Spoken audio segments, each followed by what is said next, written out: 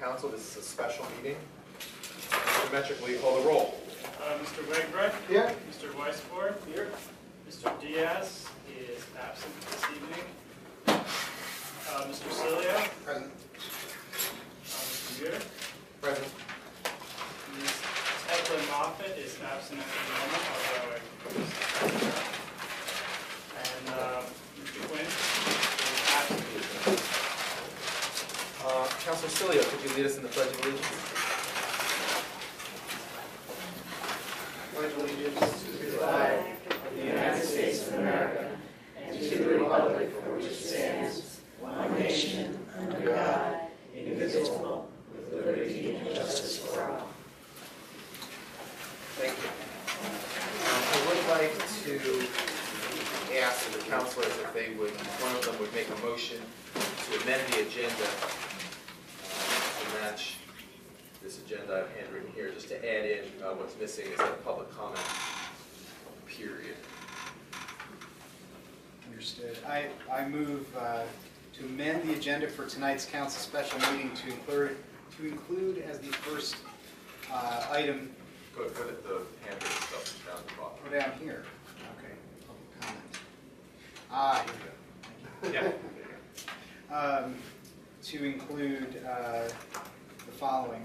Uh, After the Pledge of Allegiance, a discussion by- led by the Building and Zoning Committee, followed by public comment, followed by what is the first item in the printed agenda, the motion to appoint Sean Metrick uh, as additional Borough Zoning Officer, and the other items on the printed agenda. Just in a second.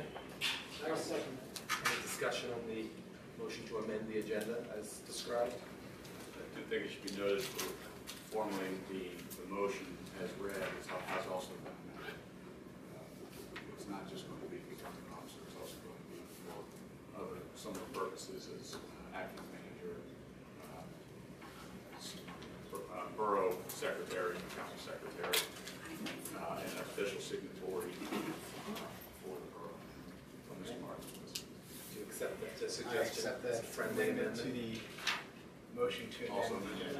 I second that.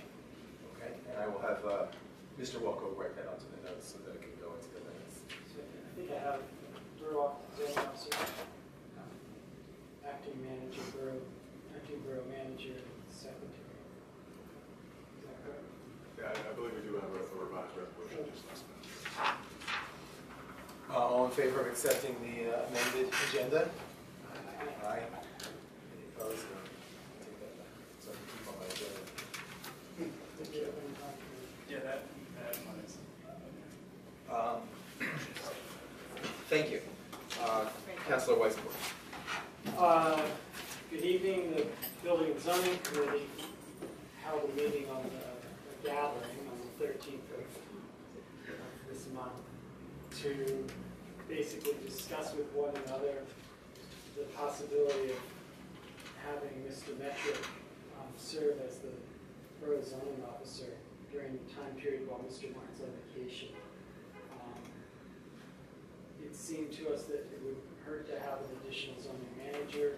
Um, we- we- we- It came to our attention that he has um, completed specific training and has a credential to be the building borough zoning officer.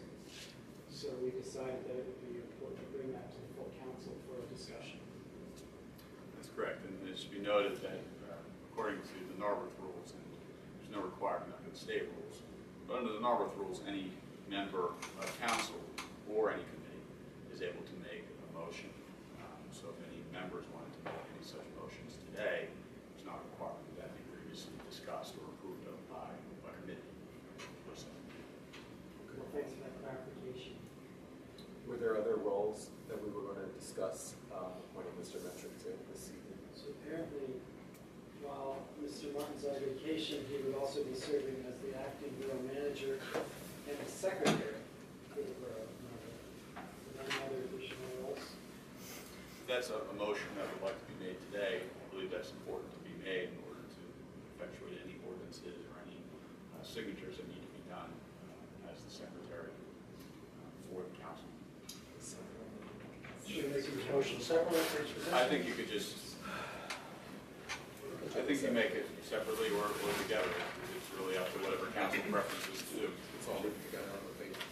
If everyone's agreed, Well, just just, them all together. just to put it in a nutshell, since we have so many folks from the public here listening in, I think it'd be good just to recap uh, that there are a few offices that we need by borough code to have occupied. And John, you know, correct me if I'm wrong here, but I think there, there does need to be a manager, a treasurer, and a secretary. Correct, and Mr. Martin is currently the manager. Uh, I believe this council has appointed uh, Mr. Metrick to be manager uh, after Mr. Martin's last day, which is at the end of the year. Clearly, between now and that time, there's plenty of business that needs to be done, whether it be duties of a zoning officer or duties as secretary for the council or some sort of managerial duties. Uh, And it would be cleanest, since Mr. Martin will be uh, taking many vacation days uh, between now and that time, uh, that we have someone in the office that has that power to not slow up the process of government. Right. So, so just to recap, Mr. Martin until the end of the year is the borough manager, at which point Mr. Metrick will assume that post. Leslie Marshall is the treasurer, will continue to be the treasurer. Um, There's a borough secretary who's required to take minutes and, and uh, deal with ordinances and so forth, and that's something where you need to have, we also need to have somebody who, the office available to sign checks in the meantime. Um, And then the borough zoning officer is the person, I guess it's related to the meeting, building and zoning that's coming up, who's responsible for the execution of, and, and management of our outside reviewer, but execution of uh, zoning review. Um, And so, in the month that's left in the year, with Mr. Martin on vacation, he, he's that, he has that role as well right now. So that, it's the ones that he's on vacation for, other than borough manager, that we're looking to have Sean fill in on uh, until the end of the year. Any further discussion? All right, let's close this matter and then go to public comment. Um, If anyone would like to address council, uh, and I'll start in the front, kind of work my way back, uh, ask you, On this issue. on this issue, uh, I'd like you to uh, state your name and uh, your address for the record.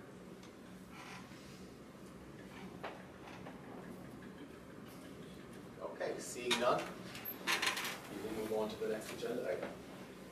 We vote on- Yes, so someone needs to make a motion. Uh, I move council members, the members of the building, um, the members, I'll make this as a member of the borough council. Excuse me. As a member of the borough council, uh, present, I present the following motion for consideration. The members of the Borough Council appoint Sean Metrick to serve as acting manager, council secretary, zoning officer, and authorize borough signature for in the manager's place effective immediately. Is there a second? Second. Is there any further discussion? All in favor? Aye. Any Opposed? That's happening. Let the record show that Mr. Diaz arrived, um, and Ms. Tevin Moffett has arrived. I will sign this. And this one.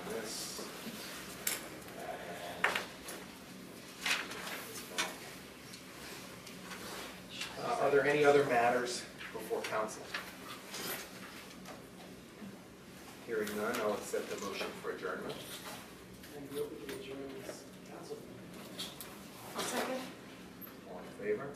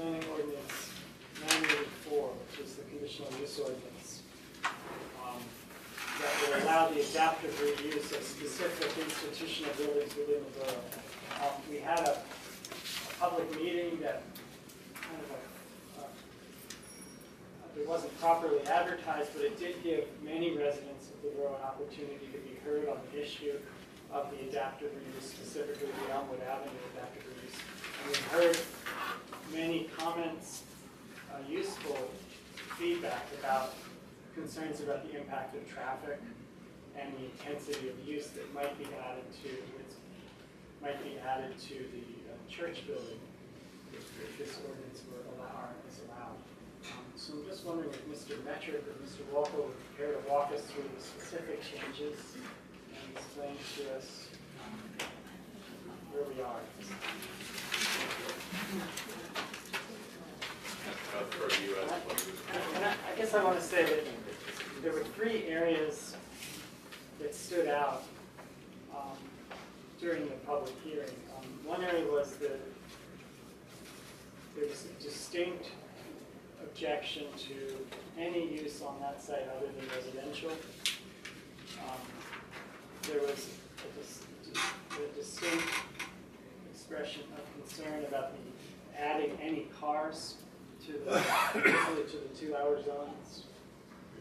Um, And there was a concern about um, the building being used for any other use other than residential. Um, We hope that the, that these amendments actually respond to the concerns that the office use be defined very specifically, and tightly, so that it can't ever become something more than just a very simple time office. And that the, that the parking, the intensity of the parking cannot, that there cannot be any parking in the neighborhoods that currently have two-hour parking spaces, so that the property owner would be required to put all of the parking on site, or people visiting that site would have to find parking elsewhere beyond two-hour parking zones. So please, take us, take us through. I have to do with that. And, and again, this May I, still may I has to. stop you just for a second? Sure. John, does, does anybody, did anyone come tonight who wanted a paper copy of the ordinance, who doesn't have one? I have two extra. I didn't make a ton of them, but. Thank you. Do you want one too? And This revised ordinance, obviously, has gone through a lot of review um, already. Uh, Prior to the more recent additions, we took some feedback from the initial planning commission review, added some language, uh, particularly uh, a small change in subsection B, A1, where we want to specify this is for the protection of existing design integrity, such that we added the word existing. I, I believe there will likely be additional non-substantive changes that will clarify sort of the, the process for protecting the covenants and not about specific office use that will come. Uh, And again, I, I believe those will be uh, discussed more at a planning commission meeting. And again, I don't think there'll be substantive changes. Um, So I, I don't believe it's necessary to come back to meet on, on what the planning commission members have been recommending be made. Um, Additional substantive changes made under BA1 uh, subsections, I believe H through K, but I could be wrong, were, were, were added, again, providing more specific protections to the design integrity of the buildings, and again, uh, providing further clarification about Borough Council's right to enforce uh, the conditions that they would put during a conditional use order if one was approved, uh, to maintain the design integrity of the building. And these are, these are things that would likely happen in the covenants anyways, uh, but as a abundance of caution, we'd like to have in the ordinance as well. Um, The, the largest changes, and I believe the changes that were most desired by council based upon the feedback um, from the borough citizens was the definition of office use to be added to specifically uh, pertain to this use. And this should be made known that this is a definition that is only for this ordinance. This only pertains to this section, not the zoning section in general.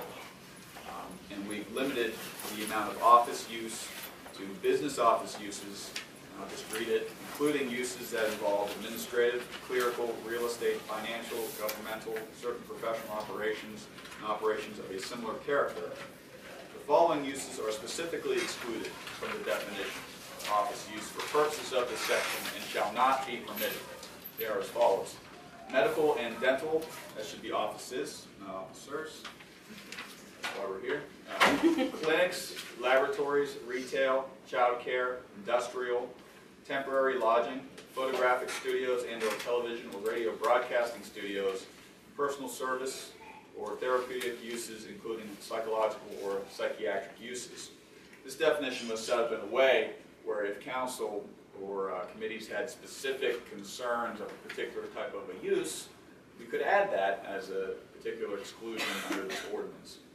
I believe the idea was to try to prevent those types of uses that generate a lot of um, visitors or turnover. Uh, and the idea is that it's more of a professional or administrative office, like you know, an accountant or, uh, or a real estate agent, somewhere where there aren't people coming and going every 15 minutes. Um, and those are some of the specific uses that we wanted to preclude, just so that there was no um, gray area in those regards. So in addition to addressing the definition of office use, uh, we needed to address the issues that the public brought up regarding parking. One of those issues is still to be discussed and resolved, and as you can see, that's located under subsection D. So this is B3D, where it says, "The proposed use shall provide XX percent, percent of the minimum off-street parking required in section 124.55.2, which is the uh, provision that addresses the requirements for off-street parking throughout the borough under the current code. Um, What that XX percent should be is something that council should, should decide and needs to decide. And I believe Mr. Metrick will be able to provide more information on that based upon his background as, as a planner um, and how he came to, to those decisions. Uh, That's regarding off-street parking and what any developer will need to provide on-site in order to gain approval. If you don't meet that percentage, it doesn't even get to the conditional use aspect, because that is an objective condition that you either can or cannot meet. The second provision that was added to address parking problems was the idea of, well, let's address off-street parking. And that's what subsection D was aimed to do. Um, Right now, under the Borough Code, there is a, a, almost by right to have parking in front of your residence, um, where you could go, pay your dollar, and get, particularly for residential, as many parking, um, as many parking passes as you would like. Uh, I believe that's capped at office space uses uh, based upon the street frontage. You can receive a certain amount of parking spaces. Um, We are trying to take action to prevent parking um, in the immediate front of areas. And by that, I mean, it would really, this provision would give it to council the right to say, we don't believe that parking in front of this development is appropriate for this area. So the provisions that otherwise would apply don't apply in this situation. However, we as council, as part of the conditional use process, can find areas based upon our knowledge uh, and working with staff of the borough to say, you can park in these areas. Uh, Maybe perhaps because there is available parking there or the parking concerns aren't as much. So uh, that is particularly for the, the office use. Uh, As far as the residential use, I believe it limits, stick it, uh, the parking permits to one parking permit per residential unit. Uh, And again, right now, under the code, it's, you know, as many permits as they would like to have for residential. unit. Uh, But for employees or anyone that's there for the office use, we've tried to define it broadly. Um, You can say, no, you can't park in front of your building that you otherwise would be entitled to. Uh, However, based upon our observations, we need you to park in this district and create a specific parking district or, or area that you can permit them to park in. When would that be decided? That would have to be something that's decided through the conditional use hearing. And, um, you don't have to provide it, but, uh, that would be something, uh, that this council would have to, have to do and have to find. Uh, and hopefully we'd be able to find areas that, that would work, um, as part of the conditions process. Um, so those are, are really the, the, the two biggest changes. Obviously, there is that percentage that needs to be discussed. We did want to make it more clear that all of these conditions, uh, of the conditional use standards and criteria that are listed under the code must be met, as well as the community development objectives. So we cleaned up the language in subsection H to meet that. So really, um, this still permits office use. Um, The office use is defined and is limited. Uh, And it uh, attempts to control the parking issues by giving council the right to require a certain amount of off-street parking facilities. Um, And that, that's based upon square footage under the code? And also, if there is any overflow parking, saying, well, that overflow parking can't be in front of the building, you have to go to the area you were later designated. Everything else essentially remains the same. This did entail some changes that needed to be made uh, to make this make sense with the parking requirements. Sean, did you have anything you wanted to add? Well, I can talk to the off-street parking variable that's in the code tonight, if, if you guys are are ready to hear about that, or if you have something that, another direction you want to take the conversation in now. Let's hear that first. I I think I wanted to discuss parking, and kind of the differences between residential parking and office parking. So it may be helpful to hear what you have to say first. Let's have some information. Okay, well, the existing Narberth code requires two off-street parking spaces for every residential unit. It also requires uh, one off-street parking space for every uh, 200 square feet of office. 200 square feet of office.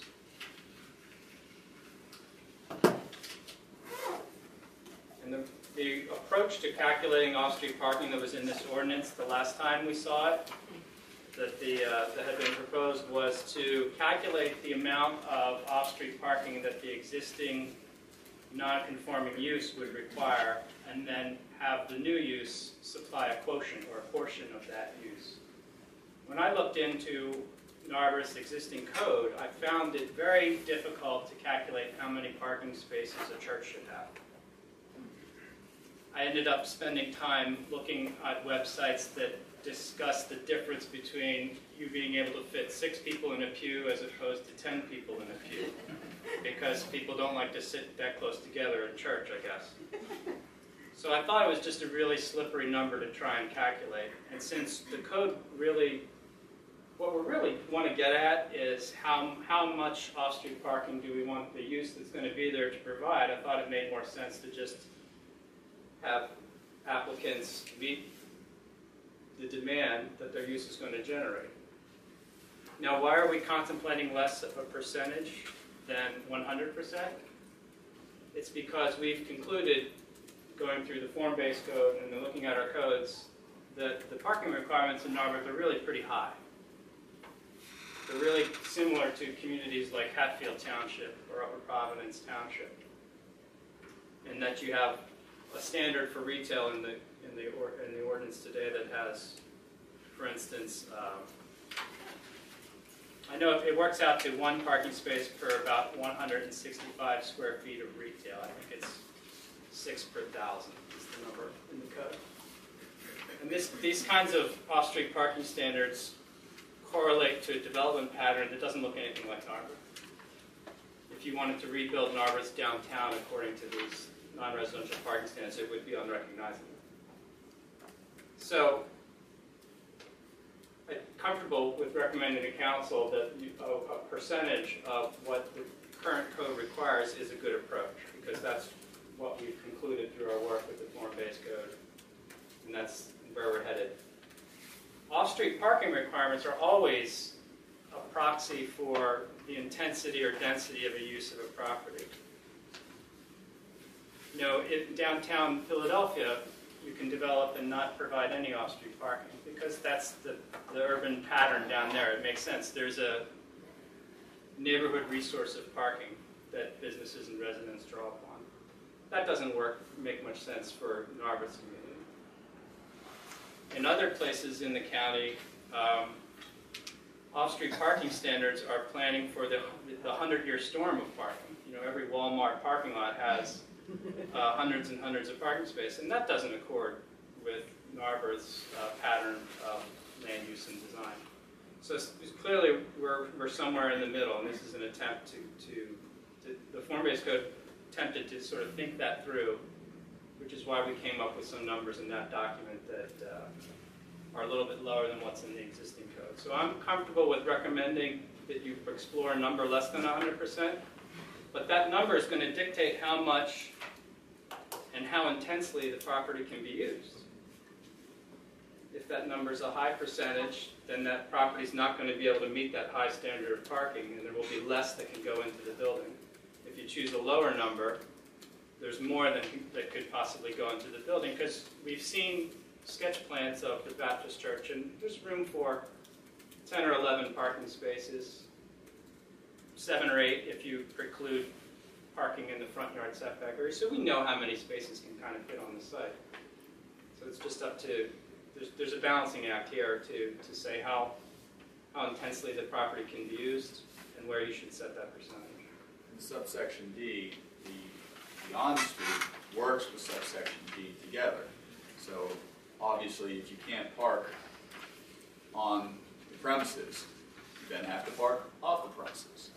And where can you park, that's when subsection G comes along and says we can dictate where you can park off premises parking. It's also, I think, noteworthy that the idea uh, of subsection B, that these buildings be located within public transportation is to try to encourage people to not be driving. Um, And that, that is one, I believe, Sean, one of the uh, reasons why you recommend something less than hundred percent. Because of that condition as well, not to mention So council members, when I just think about use, um, residential use, I think of that as a kind of a hundred percent of the time use. Most of us live and operate in our homes three hundred and sixty-five days a year, seven days a week, twenty-four hours a day. And we need to park most of the time. We need someplace to park. And I think what I like about requirement that there be some on-site parking is that it be available to, for the residential use, because they're the people who will be there all weekend, you know, all, all, all evening, all night. And if they're, so that they will have a place to put their cars off the street at night. Um, The, you see a lot of office people come and go from different parts of the borough um, all through the day. Um, I see, where I live, I see people come for yoga classes once an hour, sometimes up to sixty people coming for a one or two hour yoga class. And those cars are sort of absorbed into the neighborhood where people can park. um, Can park for short duration or without the two hour limit. If, if there's a office use such as this that doesn't have frequent visitors, it's sort of more like a banking hours kind of parking they're coming at nine or ten in the morning, leaving at four five in the afternoon. Um, they're needing long-term parking, so they won't be able to park in any two-hour lanes. They would have to seek parking in a municipal lot or on a street that has unregulated, unregulated parking. And that just seems to make sense to me. Not having, none of us have actually seen the, have ever seen a proposed scheme for, there's a way to, to cover that, but Well, we, we, we limited it. I mean, we, are you saying that we can require only the on-site parking to be residential parking? I think that- Yeah, I mean, that's, if we're, if we're giving them spots to resident, we're saying there's no resident, that there's not gonna be any impact to the neighboring street. Well, And then these people move into the apartments in there, and we're told by either the landlord or market conditions, that if you want the parking, you have to pay a hundred dollars to be well, we, we reviewed this in, in light of what's under the the current ordinance. And under the current ordinance, if you wanted to just make that all residential, you could fill your on-street parking requirements. uh, But then the resident, residents could have as many parking permits as they have vehicles, and there's no caps to that. And they could do that right now under the current ordinance and clear out that entire corner with their, with their cars. This one says, no, I'm trying to find something to, to give credence to the residents that are there, and these are, these people would be Narberth residents, saying, you don't have the same rights as everybody else to get five permits if you have five cars. You can only have one. And if you get your on-street parking, uh, or, sorry, off-street parking space, if that's open, great. But The residents are only getting one re- residents are only getting one permit under this. permit? Okay, that Uh, answers So, that so, so question. it, so it caps it. Okay. However, those residents would still be able to, to park No, in front If of- they're only getting one per unit, that's, one per unit. that serves that question really, that's Right, what I We're was. talking about a lot of units. Yeah, okay, that's all. I mean, I, Fewer than That was the five. question. The second question is more theoretical because we know how many two-hour zones we have. and um, you know, Some of them are needed, some of them are not needed, neighbors like them. But we have a history of, you know, if neighbors come in with a significant amount of neighbors that want a two-hour zone, we give that to them. Um, So, you know, ideally, I know we've been talking, we'd like to figure out a borough-wide parking, which we're not that close to at this point.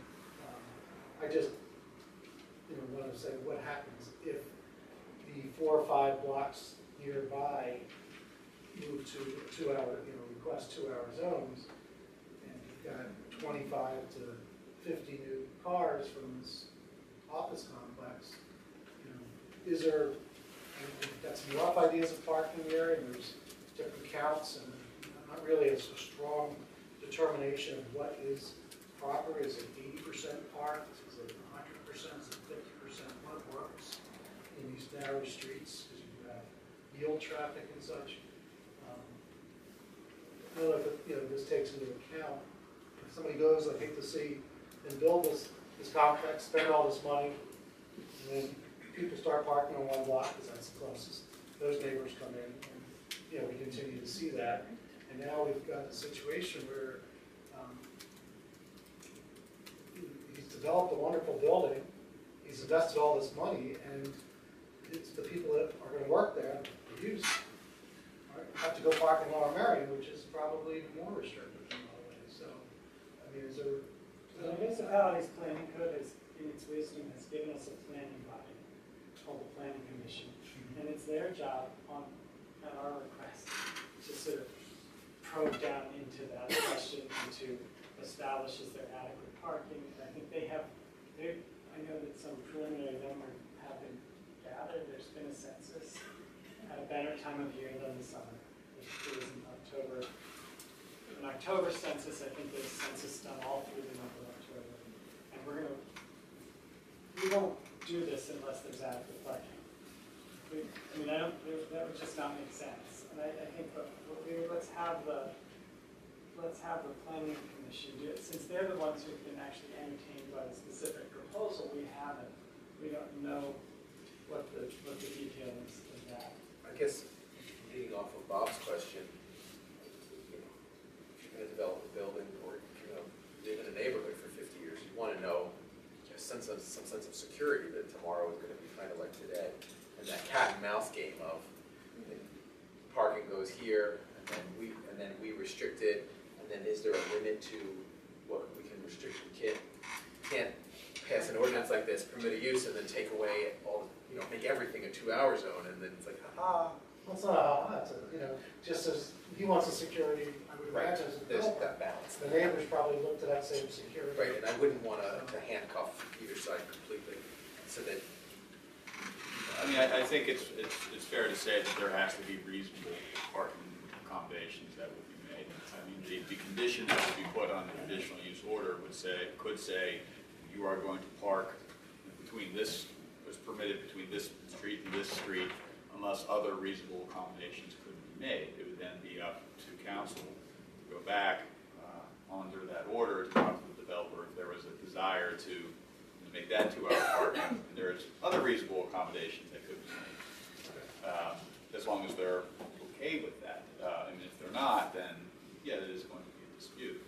Um, But this is, this clearly is set up under an assumption that there are reasonable parking accommodations that could be, could be made, uh, that are available. and you're saying the planning commission does that now. They do that analysis, and this business wouldn't be unique. There are businesses all throughout the borough of Marlow that would, where we would have to find parking, appropriate parking for the business owners and their employees if we were to create a comprehensive parking scheme.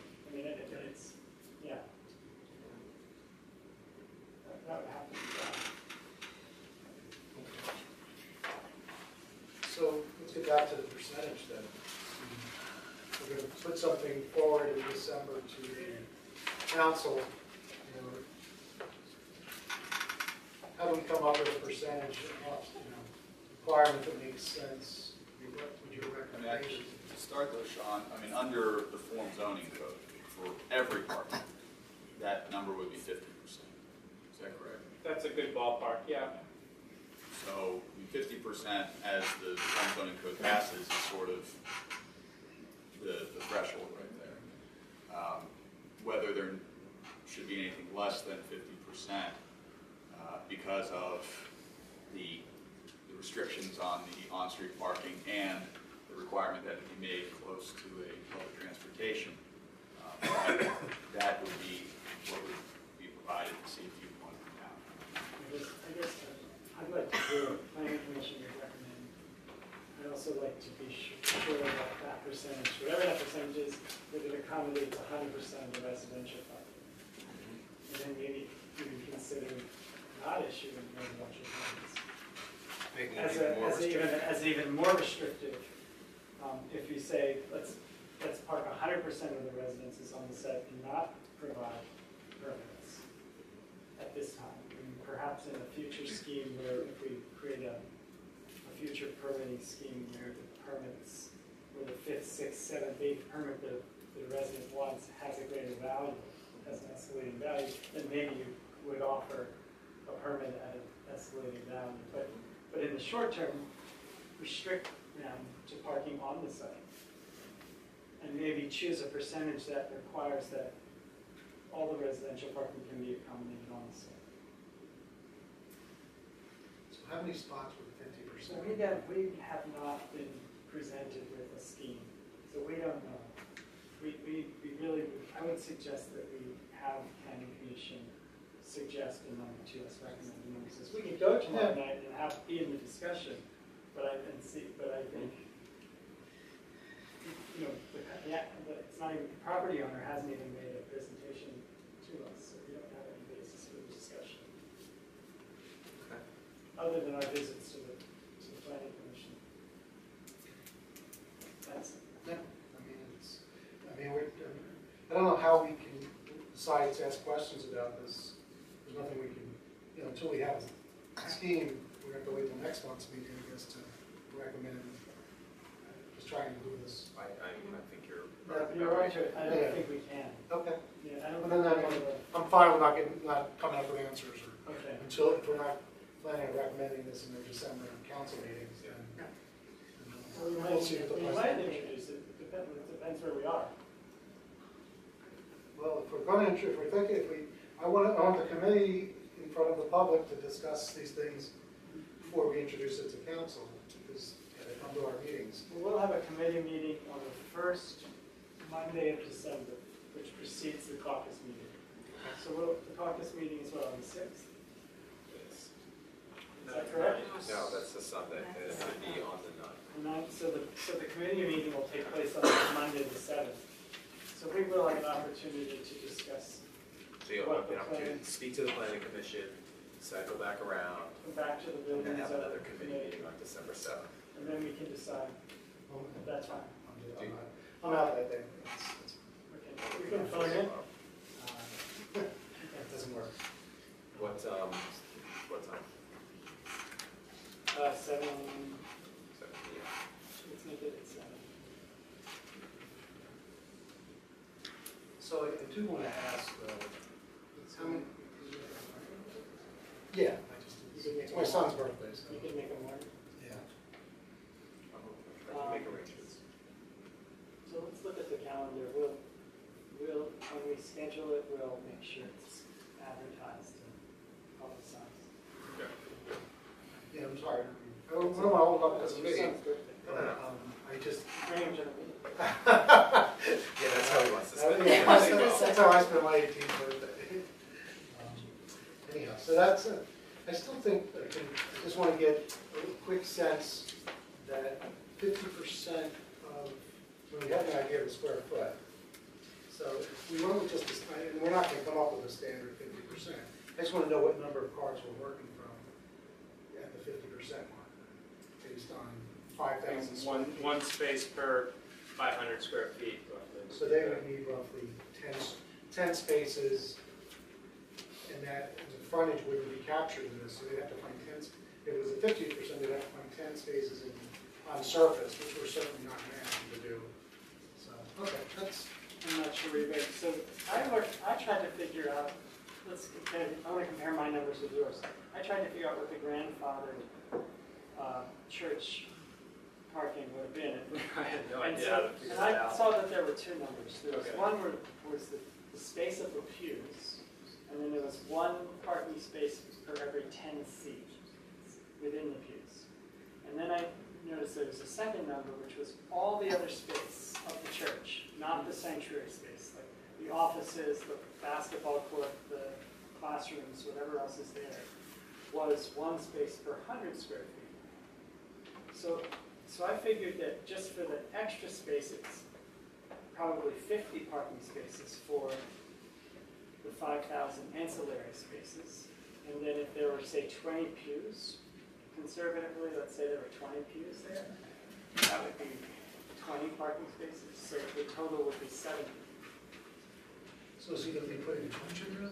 No, no, I'm saying that that's the grandfather, that's the grandfather space.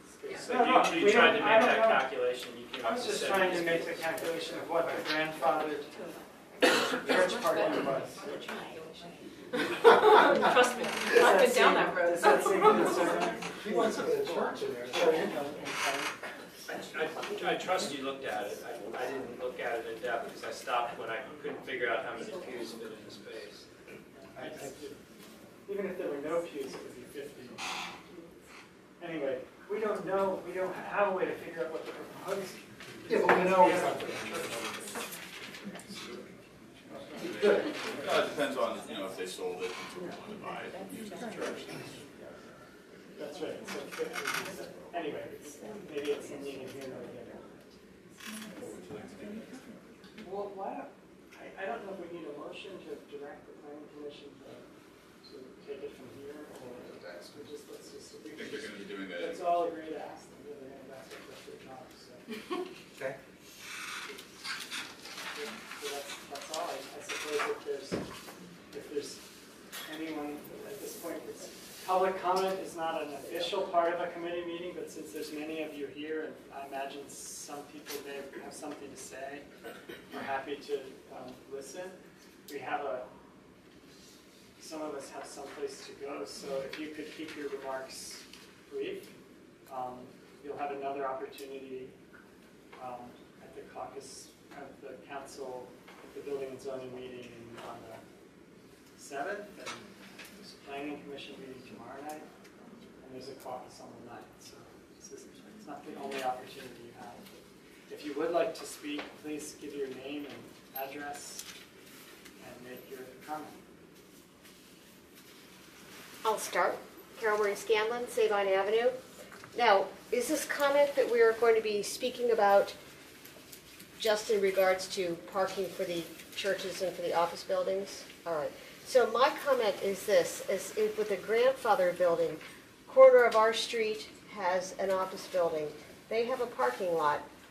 They also have 13 parking permits on our street. And basically, that office building owns our street, 8 AM to 8 PM, five days a week.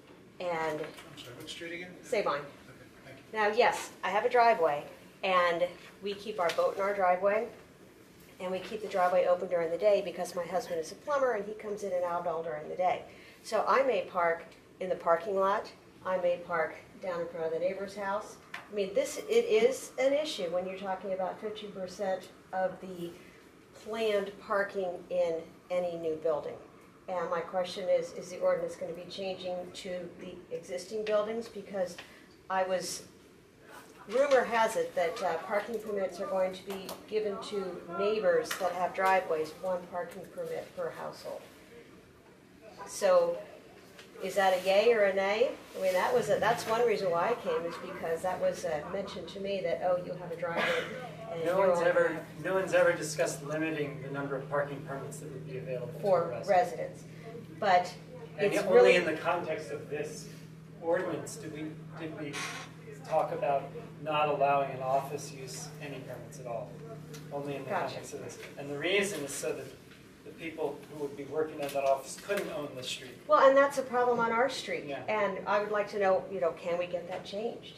Because this, this particular office building has its own dedicated parking lot that they don't use. They say they use it for their clients who come and go. And they also can park in that nice big parking lot, which is over fifty percent empty, the old school parking lot. And they shoot, they get all these resident permits, so they say, heck, why should we park, walk ten extra steps or, you know, up and down? And the gate is open, I've pointed it out to the office people, they're like, oh yeah, how about that? And they still park in of our houses. And, I mean, literally, they have thirteen spaces and they own our block every single day. So that's my comment as to, parking is, is tough, and I totally understand, progress is great. But the residents, I think, need to take precedent over office workers. Thank you. Thank you. I see a. Yeah, Robin Burnholz, Marion Avenue, Narberth. So this is the south side of Narberth, and there are four blocks and one side of Rockland Avenue, which has no parking. Um, The first three streets closest to the train station um, are restricted. Marion Avenue isn't. Marion Avenue already really feels the weight of of commuters, you know, train commuters who park there. And, you know, it's, there's not that much space. And I'm on the 200 block. The 100 block is very dense. People have more cars than they used to in this, when, you know, the current zone was developed.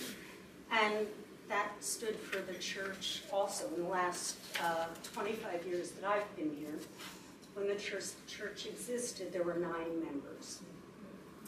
And they had had the right to park in um, SEPTA's parking lot on Sunday. So I wonder what happens when, you know, there's, there's nowhere else for it to move, really. So if residents on Marion Avenue say, enough, you know, we need to park on our street, then what? You know, then where do people go? There's no place else. So that's um, one concern. Another is a question, which is what's different about, say, an accounting office that might have clients coming every half hour or something, and psychological services where there might be one appointment an hour. I, I don't understand how that distinction's made and wonder if anyone can speak to it.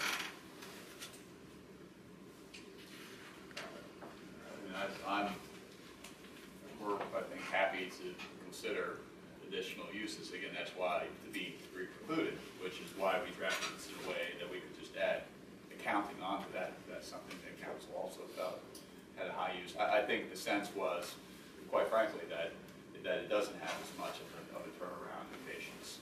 Um, that could be wrong. But mean, the- I but the- think it has to be stated not just what type of business, but what type of usage, how many people would be coming. You know, otherwise, it's very arbitrary. Right now, it does say administrative, clerical, real estate, financial, governmental, and certain professional operations. I mean, that's the general sense. So if I'm coming in there as a tenant, I'm going to try to list my use into one of those broader uses. If council disagrees that you're not administrative, then uh, that's going to be a dispute that would need to be hashed out. In order to get around that dispute, for certain uses, that's why we specifically listed some of those uses that we thought were, would be particularly troublesome. But again, I think the public feedback period is, hey, if you have more uses on that that you would like to run by council, to see whether it should be specifically added to that list, and that, that's, I think that's the it's more process. that it should be based on what, you know, that there should be numbers attached to it and not just what type of business. And I- And I also hear you saying that it's really important, I think you're making a point, a good point about the expectation that it's really an employee workspace only, it's not a workspace that has any customers or visitors coming from the outside, it's definitely an employee workspace. So I think anything that's not, I mean, I'm for all residential without a doubt, but, you know, in this discussion, I just feel like that has to be really considered. Yes, sir. Uh, I'm Jim Herring from uh, Chestnut Avenue, and uh, we've had a canvassing of the people who live in South Margaret, and uh, the overwhelming result of the canvassing was that the people did not want commercial things in South Margaret. And it was the vast majority, I just saw the gal back here have a much better figure of the number, but it was very clear that the people that live in South Margaret do not want commercial things in South Margaret. And uh, I think that was very crystal clear, and I don't understand why it appears that people just keep right on going on as though commercial is just fine in South Market. It's not, according to the people that live there. That's my only comment. Thank you. Anybody else? I'm Chris Calvert, I'm 161 Marion Avenue, and I just want to reiterate um, what's already been said. I, my house is on a corner, the front is two-hour parking, the of Marion Avenue is not two-hour parking. I get up in the morning, I watch everybody from the train come, park their cars all up and down that street, leave their cars for at least the whole day, often for the weekend if they go to 30th Street and they're going away. The streets that don't have two-hour parking are full. I don't understand where you're going to find these spaces. I don't. I just don't get that, unless you go, I don't know, across Bowman Avenue. If you walk, if you walk through South Narberth, you'll see that all those streets are full. Where are they going to find another 10 to 15 spaces? I don't get it. Thank you. Anyone Or else? Pamela Santer um, from Woodside Ave. I just have a question, um, and I was trying to look at the original version of the amendment, but is it typical to have the um, enforcement of a zoning uh, statement em- embodied in the borough council as opposed to the uh, borough manager or somebody who knows the zoning laws, who's, that is their job? Sure, the, so this, this really deals with a conditional use approval. So what would happen at a conditional use hearing is there would be a conditional use order that would be issued, almost like a judicial order, but it's a legislative order from this body. To enforce the conditional use provisions that this council puts on, that is not an appropriate enforcement through the zoning officer. That would be something that this council would need to enforce uh, And I would recommend uh, doing it through filing injunctions in the Board of Common Pleas if they felt that that order was being violated as a violation of of an order, just like was any other order. Um, So any aspects related to the conditional use provisions that were, would be installed, or uh, there are requirements that certain conditions be placed in um, covenants or uh, association agreements that would go in, that normally council wouldn't have any standing to challenge, because they're not the landowner, they're not someone that's, that's living there. This gives them the right to uh, intercede in those matters to enforce those covenants that have to be put in. So in those aspects, that would be enforced by council. As opposed to if they're building a building and uh, they, they don't have the amount of impervious coverage, or they exceed the, uh, or they don't meet parking requirements, and there are actual zoning code issues that were violated, that are in the zoning code, those would be enforced by the zoning officer. So if it falls under the zoning code and a zoning violation, which still comes into play, again, that's the zoning officer. If it's a violation of the condition council imposes, uh, that would be enforced by council. And, and that's, there was a recommendation, quite frankly, from the planning commission that it be put on the zoning officer. Uh, I don't think that's proper, it may not actually be legal, uh, and I believe it'd be quicker for council to just file an injunction when they see that something is being done that shouldn't be done to enforce that order, uh, than it would be to have the zoning officer issue a enforcement violation and have that scheduled for the zoning hearing board. Um, The zoning hearing board wouldn't be able to enforce a council order, it would be up to the court. So hopefully that's a long answer, I'm just No, no, no, I get many it, it's details as just, it just possible. is odd to put um, enforcement in the executive branch. Well, there's, I mean, this is. Well, there's, no, I mean, any, there are conditional use provisions throughout the zoning code now, and if, I mean, for example, the, the residential uh, buildings that were built into this ordinance uh, were done by conditional use. Had they violated those conditional use provisions, this council could immediately file an action uh, to stop them from doing what they were, are doing. Um, I, I don't know if I would classify council as the, the executive Right, branch, but- it's more the legislative body. Okay, but certainly not the ones that usually enforce them. I mean, you know, there's a fire inspector, he usually enforces. And they, and they're still there. mean, Yeah, I know. For for the safety, for the, the building inspector is still gonna be doing their work, but just for the special conditions that make these buildings unique.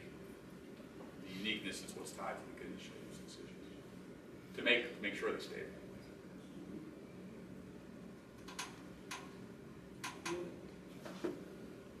In the instance where there were ish- um, conditions at the Methodist church that didn't appear to fit, um, it was the planning commission that brought those to the council's attention, and then there was an administrative action taken by the office to, a- to request that they fix them. So, Well, that makes sense.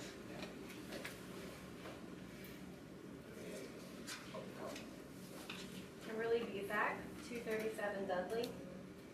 I just wanted to clarify from what I was hearing tonight, that there's, with the parking issue, and South, the South Narberth side seeming to have, to not have a lot of available parking. With the Elmwood project, there's nothing that would prohibit council from recommending, um, or mandating that the owner would provide employees with parking on the north side, or recommend that the owner would work out a deal for a contract in like a municipal or a private lot for the employees to park. That way the south side wouldn't be absorbing the parking necessarily. It could, you could look to the north side if council, Uh, If, if it was reason, if it was reasonable to say, hey, employees, you need to walk this far to go to work, and there's space here. um, What is reasonable, I mean, that's, how far do you walk to a bus or to a train? I mean, that, that, that's what the decisions would be. Getting Into private parking agreements, that would be something I think that the, the applicant would try to if they felt that they needed to do that, present council with that as an option, and then that would be something that would be made as a conditional use that this, this would be entered. But the ordinance only addresses, I think, off-street parking, and um, it would have to be reasonable. Uh, The, the language is, it's not going to be like you could have now. Did the Methodist Church, do they have enough parking spaces in their underground parking for all their people, all the units there? Well, then, why can't the Baptist Church do the same, make a dedicated parking garage? We don't know details really about that project. Because that whole, I know, but I'm just saying, that sounds like, as this nice lady in green was saying, I mean, that's, that sounds like an easy answer, is just to have them build their own parking structure. There's that whole basement of that where the bowling alley is in that church. You know, make that into the parking structure. Thank you. Is there anyone who hasn't spoken yet who would like to speak? Robin Newcomer, Grove Place. In addition to parking per se, place to put your vehicle, there's also the fact that the streets are so narrow that lots of times when I just drive down to, to go out, to, to go out somewhere, I have to pull over into an empty parking place so somebody can come down the street and get past me. There's an awful lot of that going on right now. If all the parking places are actually parked in, I don't know where you're gonna go with your car when you meet another car coming your direction. It's, it's really very narrow. I never even thought of that. That's I see it all the time when I get out of the street. I mean, you literally could be, if there's a, a postal vehicle or a delivery, I have to back down the street and go out some other way right now. Mm-hmm. And this is. Try driving down Iona during the morning when the school mm-hmm. bus, or the Yeah, trash well, truck that's is there. just as bad, yeah. Who else? Anybody else? Uh, this is just, uh, quick, general, um, one I wondered is the making of it, I'm sorry. Jennifer Lammer, Windsor Avenue, one nineteen. Um, is the making of the parking spaces available at the church space, uh, within the impervious pervious percentages? And is that something that's been considered? And, um, uh, in general, I know this topic uh, for this meeting is about M1 Avenue event. Will you be talking about general zoning issues at further meetings? I'm seeing houses being constructed and seem to have no setbacks, and there seems to be um, a lot of activity going on right now, having huge impact on what is already a very dense little town. And I wondered if you were going to be addressing general zoning What we should do So is we should restate our, just the, the emphasis of our conversation the other day in the gathering is that we should ask ourselves as a committee to, to re-ask the solicitor to look into solutions that we could have along those lines as far as moratorium or any delay issue. Because it's, bottom line is we'd like to see uh, something to at least delay these things so that people can digest them, be aware of them. And that was one of the thought processes as we had our gathering the other day, and I think maybe we should restate, to ask our solicitor as a committee, if the committee agrees, for ideas and possible legal means to um, make sure that uh, Talking about delayed demolition. delay demolition and make people aware of Give demolition. Public notice, um, The idea of a, within the constraints of the law. and even the idea of, the other, the idea that came up the other day was of a designated permit for tear down.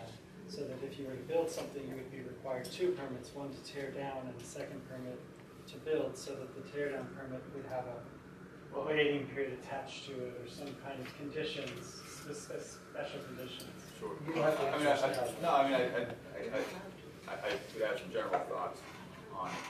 Uh, First is, I I believe there are demolition permits that, that are applied for usually at the same time as construction permits. It's my understanding that the office will be alerting the public when demolition permits, uh, maybe even construction permits, I'm not sure, are being, being requested. Um, That's, that's something that's not mandated. I think that's something the office is doing as a courtesy in response to the concerns that the council and the office is hearing regarding this. So hopefully, the notification issue will be solved in, in the short term. As far as um, delaying what we can delay, we're gonna have to think outside of the box. Uh, If it's any sort of moratorium on downs, if that's something that, that can be done. Generally, it wouldn't, it, it could not be done. Uh, This is something that's, that is, uh, comes under the UCC, uh, the the construction code. If you don't issue a permit within fifteen days for a residential, one or two, two residential building, it's automatically granted. Uh, And our code has that fifteen requirement. Now, whether there's something that can be done um, after that fifteen day period for matters of public safety, possibly, but at that sense, may be delaying it for ten days, fifteen days before something's torn down. And is that something that, that's really helpful, uh, to just delay what, what could happen? Um, So I will look into, to seeing if there's a long-term fix. But I think, thinking about this a lot, the issue really isn't as much as the the tear downs, is what's being built in their place. And, uh, under the new form zoning code, you can still tear down buildings. But the issue is, does it prevent you from building the type of buildings that people are objecting to in the future? So, so in that aspect, it comes back to what's being built and the form zoning code. Um, There are, were things, Bob, that we even talked about back in June when you were really concerned that a house was torn down before everything started happening. We talked about uh, maybe just getting the form zoning code passed and and coming back and making fixes later. There's obviously downsides and upsides to that, but that's something that could be considered uh, by this council uh, that I think has more understanding, uh, more support for it. Obviously, downsides to that as well. Uh, But I will look into that uh, to see if there's, there's something that, uh, just not that can be done, but is legal. Uh, This is, this is the kind of aspect when you're dealing with someone purchasing a property for a lot of money and wanting to make a lot of money off of it, that they're really willing to spend a lot of money to sue the township to make sure it goes forward. So we want to make sure whatever we do is legal, or at least has a good legal argument if it's something new and. This may be a good moment to give the floor to Mayor Grady for just a public service announcement. Everyone knows, we're having a ta- town hall on December 8th at 7 o'clock over the Big Auditorium. I'd like to hear your comments about what kind of town you think Narberth should be. Do you think Narberth should be all residential on the south side? Do you think it should be all commercial on the north side? They're topics which we're going to have a ch- chance to talk about, what your reasons are for that. Uh, We're going to talk about demolitions, we're going to talk about tear We're going to talk about this ordinance as well as future ordinances going. But I'm trying to find an idea about what kind of town you want to live in.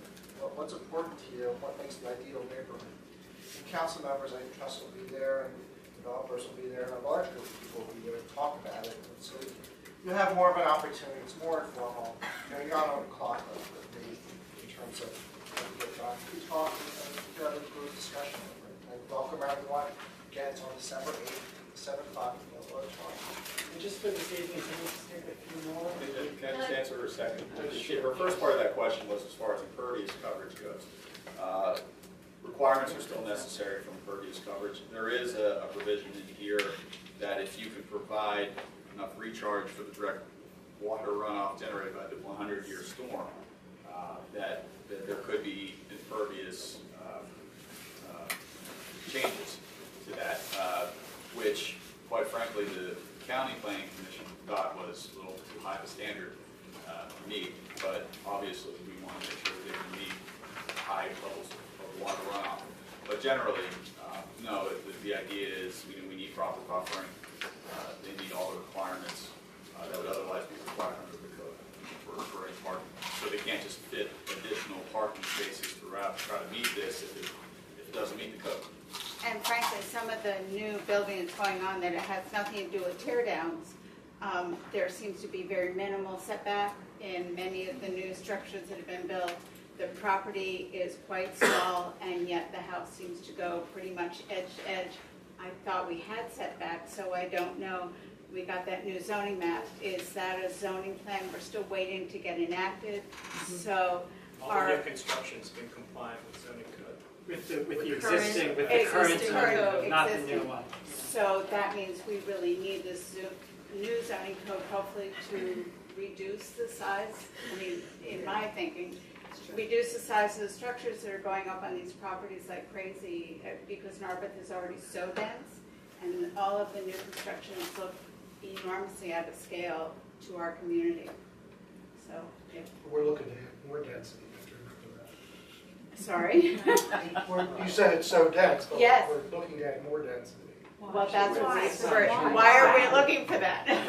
That's not true. I, I, Yes. That's It's May I, just not true. can I suggest something? And Bob, you and I talked about this. um, That e- every month you, you, you uh, read the statement of how many permits have been um, given at our monthly meeting, the caucus meeting or the general meeting, and you state how much uh, income. Would it be possible to break those permits down so the public could hear that there are ten permits issued for new construction, ten permits issued for anything? I think in the Is there a future, in the possibility coming that, year, Sean? I think those will be categorized in different ways according to what type of Okay. permit they are. So Yeah, I- Because they'll all be in a database of fields, and we Right. can sort them in different ways. Okay. But in the past, it was all done by hand, pencil and paper. Yeah, no, I, Yeah. I want to get a map out in the first quarter of 2016. Here I am making promises. First quarter of 2016, where you can, where you could map and click on parcels and see the activity. It's real easy to do. Yeah, I think the bottom line is that we hope to make all of this information public and available really easily. You wouldn't even have to come into the Borough office to see it. You could access it online, and that's, that's, that's our goal and the long term, that information, the presentation of that information becomes more sophisticated.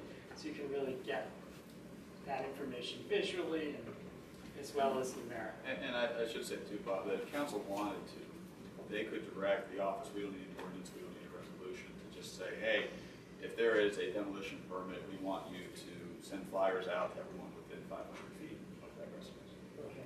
but that's something that could be So worked let's put that- within, within the Put that on office. the table, oh, without even, a we don't need a Yeah. motion of council. No, it's just something, just, I think the, the the building and zoning committee would like to see that done.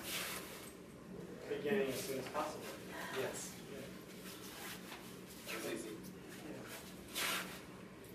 Um, you know, there, anyone who hasn't spoken yet, can I just see the hands of how many more we have, because we, let's take these last four, I see four hands, and, um, and then, and then we'll call the meeting adjourned. Um, Ms. Rosemary? Rosemary McDonough, 9 Elmwood Avenue. Um, There's just a, a point of clarification I want to ask that I think would um, serve perhaps to um, help some of the malice we have in our, our neighborhood. Uh, There seems to be uh, a general feeling among some members of Borough Council, of the Planning Committee, of the Planning Commission, that um, increased density is in and of itself a, a good thing, that um, mixed use, residential, commercial, is inherently a good thing. This seems to me to be flying in the face of what the residents say. I'd love to just poll you quickly to see, do you, do you agree with that, that more density and more mixed use is inherently good, and if so, why? I don't know no, yeah, yeah, it's not. I think this is something that we're trying to hear. I mean, obviously, we, we've got the petition, uh, we, we recognize, and I'm- I don't want to speak for council, but I, council recognizes that there are many residences out there that just don't want an office use. Um, And we can still have an office use on this. But if the concern is more parking, that's something that we, we can't do. Um, You don't have full council here, they're still developing the issues, they still need to get recommendations from the planning commission. It's, the planning commission is appointed to give council feedback on these certain issues about what's good and what's bad, and they make up their own mind. Their uh, uh, their, their job is to make recommendations. Um, So I think that council's not in a position right now to make, make that decision. Before we hear more about whether people are against mixed use in general.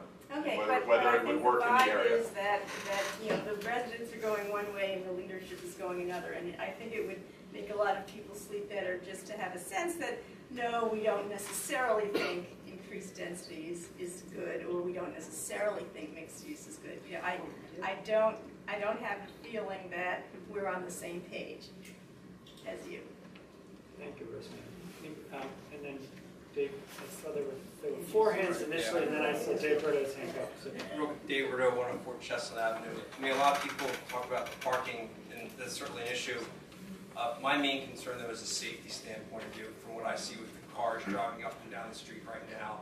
Uh, Walking back and forth from the train station, I see cars continually going through stop signs in the south side of Narberth, and you're adding more volume, more cars, it's a safety issue for me. So sure, I mean, I like the idea of parking in front of my house, um, but it's, it's becoming more and more of an issue, you know, even the point where my, you know, my car was, I had another hit and run on Sunday night. I mean, my car's been hit and run two times now on the south side of Narberth, I lost two mirrors.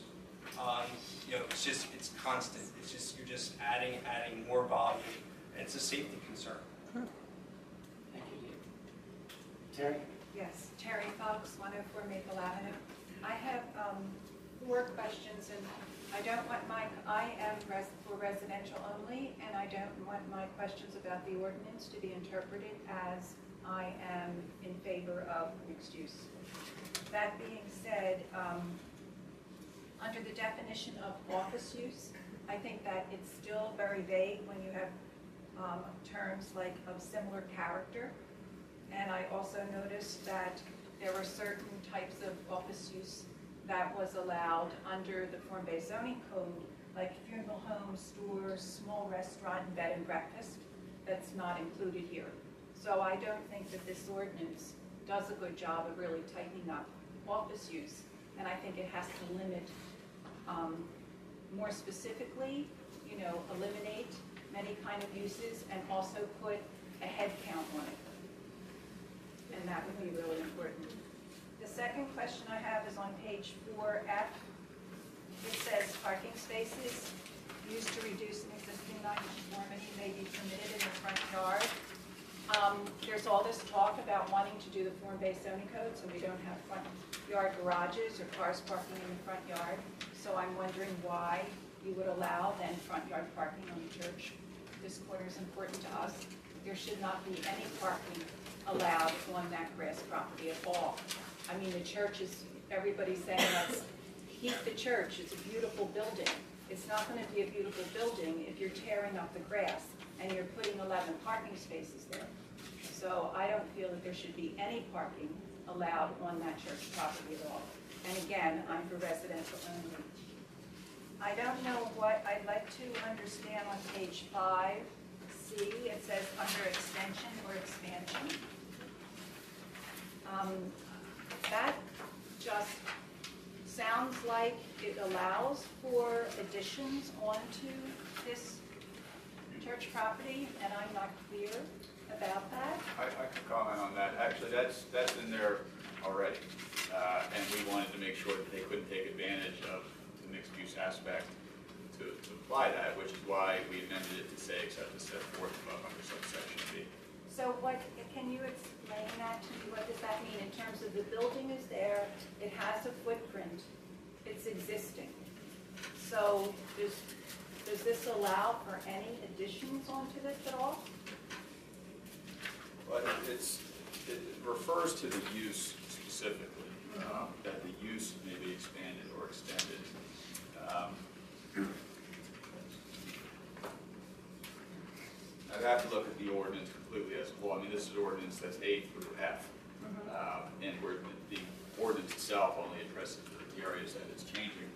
Um, But my initial review is that it's interpreted as a non-conforming use in the expansion of the use. Um, So if this was a situation under the old ordinance where you had, uh, you know, part of the building being used as the traditional uh, institutional use building, and part of that building was being used as residential units. Uh, Once you received the approval for the residential units, you could expand that use, a non-conforming use of residential units, uh, into the rest of the area, but not more than twenty-five percent of the area devoted. Obviously, we didn't want to expand commercial or office use, I should say. So we specifically put that language in there that says except as set forth under subsection B. So this is, this is used, this is a provision there to try to keep uh, restraints on future development in that property. So But your question is, are, are you able to expand and add on to the building Yes. itself? That, that would be a non-conforming structure, as, as opposed to non-conforming use, and then they would have, they would have to, uh, quite frankly, they probably wouldn't be allowed to do that because they'd be changing the facade of the building under this ordinance. And going back to the use then, so it would be possible to go back to one hundred percent residential if, the- if there was non-conforming use. Yes. But you would not be able to um, increase that fifty percent commercial? That's correct. Okay. And then, um,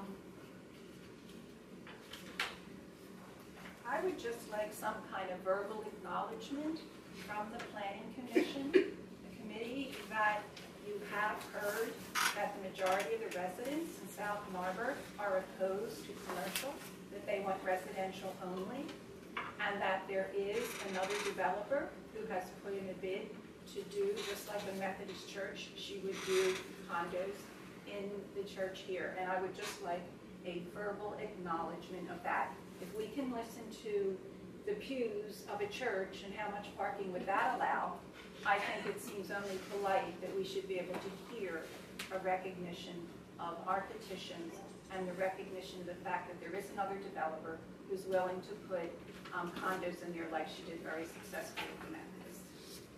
So, and somebody, You could have stated the facts that I. Yeah, I- There. Uh, Clearly, council has received the petition, uh, and the signatures on the petition is made a of of record. Um, And uh, there- that was set forth in detail at the full council meeting. Uh, They've heard that, and that, the fact that there are these additional changes to the ordinance, I think shows that council heard the outcries before regarding the the parking issues and the limiting to the office. I think council's now hearing more that this is regarding the use issues. Um, As far as the developer, um, I'm not sure if council, I mean, knows anything about that or has been able to verify that or not. If that's something that you would like to present to council uh, more substantively, I think you're, you'd be welcome to do that. I do believe that that has been spoken up at several meetings and some council members and the planning commission, I know Jim Cornwell has talked with the developer. But I thank you for saying that, so that this ordinance is the one that you worked up after you heard parking concerns, but that you haven't really gone back to the drawing board now that you've heard about all the petitions, because that's like changing the conversation. Well, I, I, I think that the issue is, you know, what council will have to decide if they're, if they want to vote to approve this is, you know, whether they want to have the office use in that building or not. At the end of the day, that's the decision that's have to be made. Um, But if there's anything that can be done, I think the- this ordinance shows that council's listening, taking feedback uh, from before, and trying to, to meet, you know, the uh, requests of the council, or of the borough. Thank you, John, that There was a, there were two more hands. There's one, here, one back there. Hi, Karen Areza, uh, 247 Hampton. Sean, I was happy to hear you say that all the setbacks were to code. Are all the footprints for garages in the town, that type of new construction, are those to code as well? I'm sorry, say that again? You know how you said all the new construction that's being done is to code in terms of the setbacks? Is ever, all the new construction that's going on right now to code in terms of the size of the garages? Yes. So I pulled out the zoning ordinance the other day. It, it's hard for me to understand, but it looked like when it talks about garages that they should be 660 square feet. Is that correct? That's actually under the building code that you're referring to, not the zoning code. And the building code was replaced by the UCC, I believe, in 2004. And that's what the inspections have been operating. What was the, on the Narberth Borough website, it was the zoning ordinance that I pulled out. It was not the building code. And I actually called Bruce L. Cohen, who's over at Montgomery County Planning. You guys probably know him.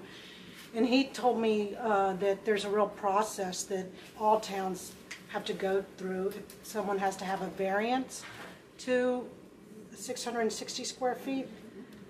But the way I read it to him, it was a zoning, not a building. He said that zoning is very different than the UCC, that one is for That's correct. the footprint and the other is for the actual And structure. if, if you're referring So- to the zoning code, I, I. It is the I'd like zoning to see code. that it wasn't the construction code, so I know that the I think I, definition. I can of- probably pull it up, but I can show it to you after the But, but I know meeting. that the definition under the construction code. This is not the defines construction code. Private garages, limiting to two garages and six hundred sixty square feet. And that's what was replaced by the.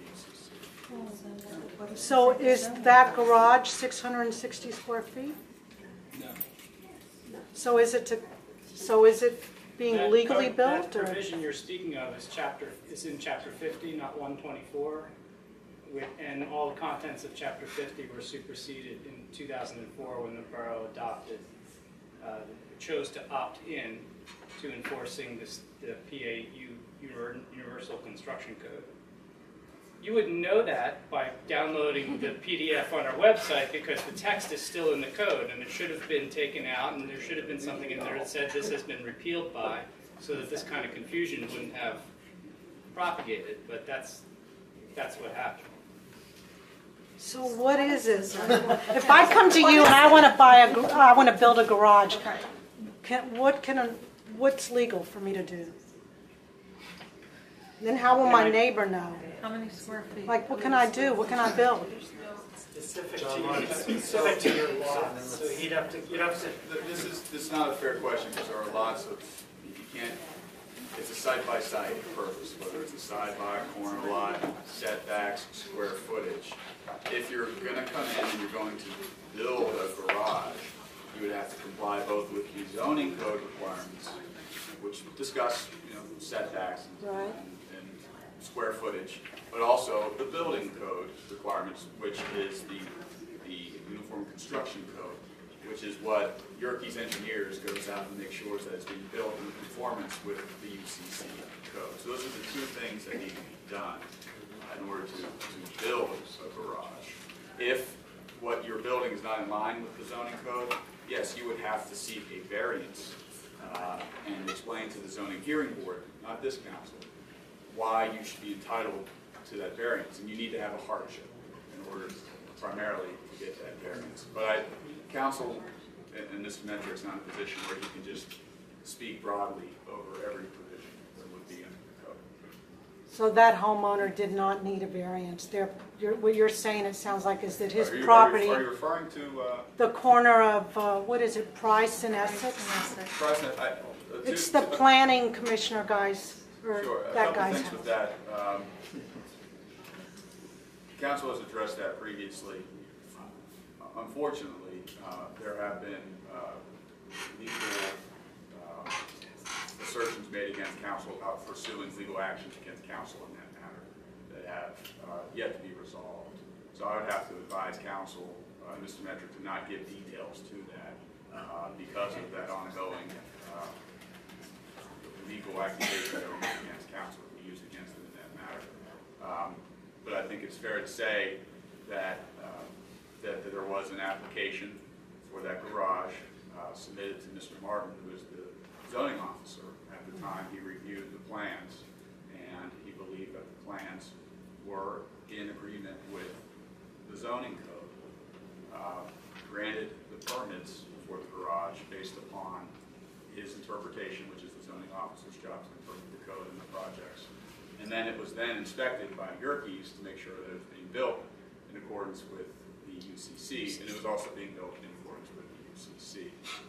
Um, I think it's also safe to say that council hears that uh, residents don't like the current zoning code and what you're able to, to do under the current zoning code, which is why, again, it comes back to the need for the form-based code, and maybe some of those changes could be regulated. So we've, I saw one more hand, Michelle. I just want to say, really, I know everyone wants to leave. Um, Michelle Penanopoulos, 125 Marion Avenue. And I just feel like I should speak up because so many people on the south side where I live have spoken against mixed use or any, any kind of of office or any kind of increase in density. And I actually signed a petition because the petitioners informed me that